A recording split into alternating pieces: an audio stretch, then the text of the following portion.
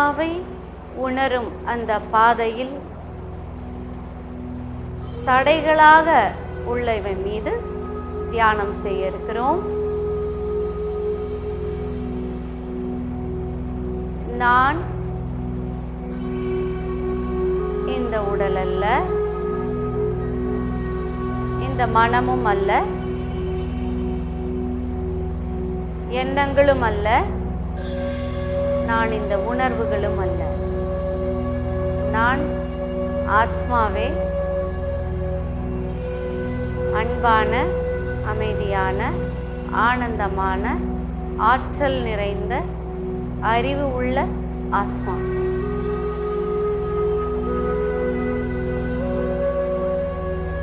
இப்படி எல்லா பொக்கிஷங்களும் ஆத்மாவில் நிரம்பி இருக்கும் பொழுது அந்த பொக்கிஷங்களை உணர என்னென்ன தடையாக இருக்கிறது என்பதை தியானத்தின் மூலமாகவே நாம் இன்று உள்ளே சென்று கண்டு கொள்கிறோம்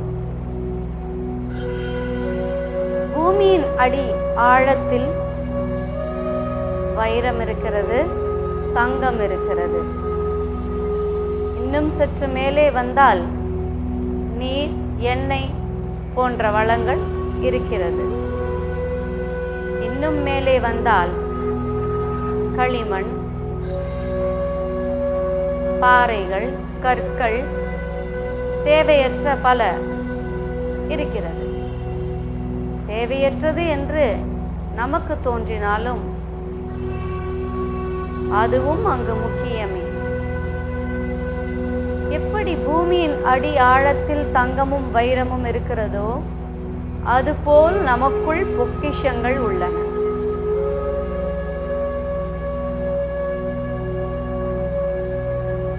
வைரத்தையும் தங்கத்தையும் அடைவதற்கு வழியில் எத்தனை விஷயங்களை நாம் தாண்டி செல்ல வேண்டியிருக்கிறது? அது போன்ற விஷயங்கள் நமக்குள்ளேயும் இருக்கிறது. அவை என்னவென்று பார்ப்போமா?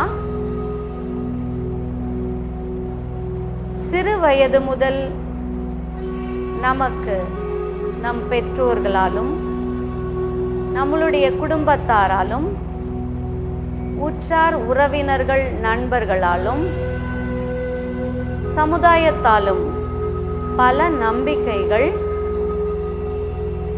நமக்கு ஏற்படுத்தப்பட்டுள்ளன.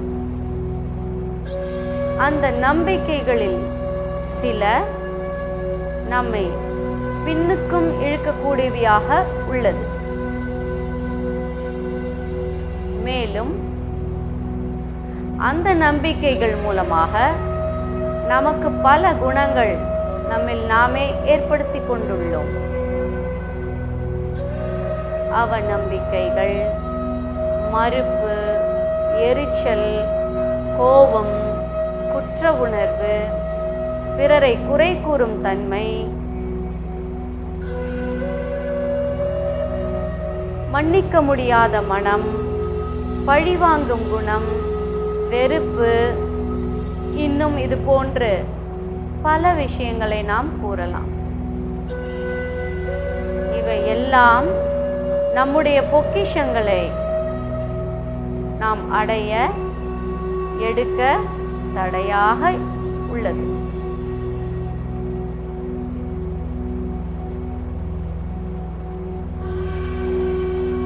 நான் கூறியவற்றுள் எல்லாமே ஒருவரிடம் இருக்க வேண்டும் என்ற அவசியமில்லை. இவற்றில் இரண்டு மூன்று விஷயங்கள் நம்மிடம் இல்லாமலும் போகலாம். நிறைய விஷயங்கள் இல்லாமல் போகலாம். ஓரிரண்டு விஷயங்கள் இருக்கலாம். எப்படி வேண்டுமானாலும் இருக்கக்கூடும்.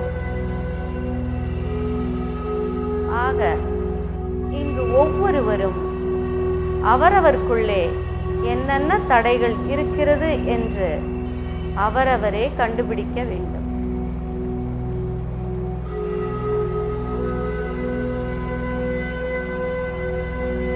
இந்த தடைகளை கண்டுபிடிப்பதன் மூலம் பொக்கிஷங்களை நாம் அடைவதற்கு தேவையான வழி மார்க்கங்களை நாம் ஏற்படுத்திக் கொள்ள முடியும். தடைகள் இருப்பதை அறிவது முதல் நிலை. அறிந்த தடைகளை களைவது இரண்டாவது நிலை. தடைகள் இருப்பதை ஒப்புக்கொள்பவர்கள் மட்டுமே தடைகளை களைவதற்கு பொறுப்பெடுக்க முடியும். ஆகையால் என்னென்ன தடைகள் நம்மிடம் இருக்கிறது என்று இந்த தியானத்தின் மூலம் ஆழ்ந்து உள்நோக்கி இவைகளை கண்டறிய முற்படுவோம். அவ்வளவு எளிதில் நமது மனம் குறைகளை ஒப்புக்கொள்வதற்கு தயார் நிலையில் இருக்காது. இருந்தாலும் தொடர் முயற்சியாக தொடர் பயிற்சியாக ஒவ்வொரு நாளும் அதற்கென்று சிறிது நேரம் ஒதுக்கி நம்மை ஆய்ந்து கொண்டே போனோமேயானால் நம்முடைய நம்முடைய தடைகளை கண்டறிந்து அவைகளை முழுமையாக விலக்கி அந்த பூரணத்துவத்தை அடைய முடியும் என்று தெரிவித்துக்கொண்டு இந்த தியானத்தை நிறைவு செய்கிறேன்.